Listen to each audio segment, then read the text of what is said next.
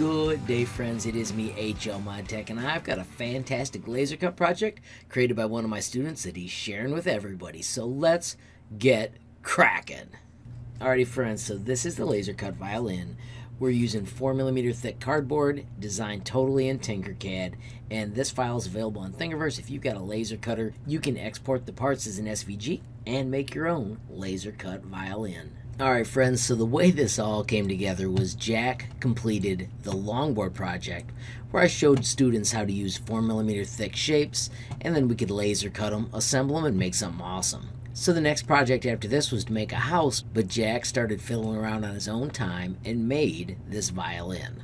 So my friends, there are tons of cool parts in this violin that Jack created, but I want to dive in and show you what he did here for the F-holes. So if we zoom in, and start ungrouping, you can see some of the cool techniques he used. So if we ungroup this one more time, you can see that right here it is a extrusion that is stretched to the shape he wants.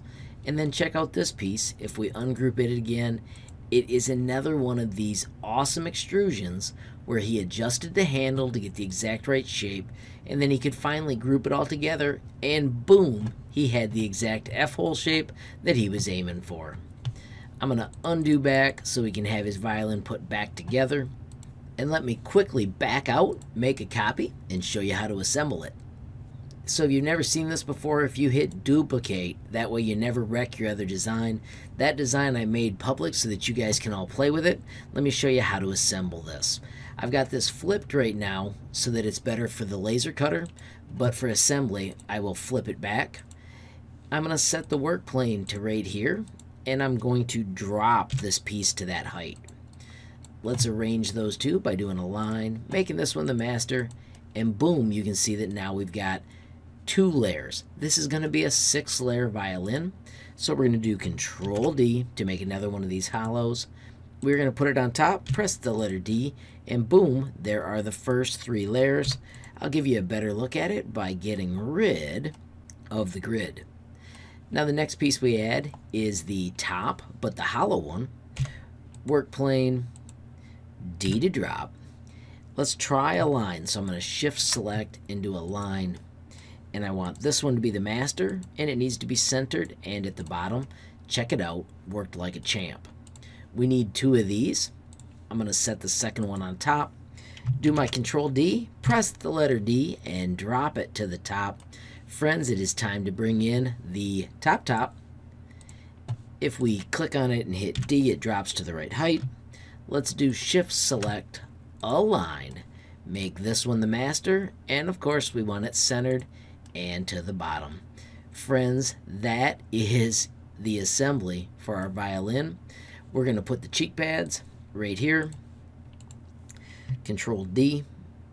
I'm going to do D to drop. Hold down shift and let's get it close real quick by just doing align and saying center and bottom. And then I can move it into the place where I would put it on a real one. Just like that. Do a little bit of rotation. I think I like that. I'm going to set the work plane on top. Click on that little guy, do Control D and D. Set the work plane on top and do control D and boom that is put in. So now the last piece is to add three of the necks. We're going to do that by doing work plane back on this piece D to drop. Let's do shift select and align. And this time we're going to align to the top and center. I'm going to hit the work plane and bring this back down in to the middle just because it's a little nicer. And we need three of these as well. Work plane on top, Control D. When I do D, it memorizes that height. So all I need to do is Control D one more time. And friends, I'm going to set my work plane back down on the ground. And we have just made a cardboard violin that can be laser cut. I'm going to select them all and make them brown. Alrighty everybody, so there it is violin ready to be cut out on a laser cutter. How cool is that? Jack, thank you so much for taking the time to build this and being so awesome to share the design with everybody else. Friends, if you make something awesome, make sure you take time to share it with me. You can find me at HL Mod on Facebook, Instagram, and Gmail. You can also track me down on Twitter. I am HL Tinkercad. Also, friends, if you want to reach out, you can always visit hlmodtech.com and use the sweet built-in messaging system. Friends, thank you so much for watching. If you enjoyed the video, please give it a like. If you got a question, comment, or suggestion, add it down below. If you haven't subscribed yet, what are you waiting for? Smash that subscribe button, and last but not least, hit that notification bell if you want to be the first to know when there's a brand new video from me, HL Mod Tech. Thanks for watching.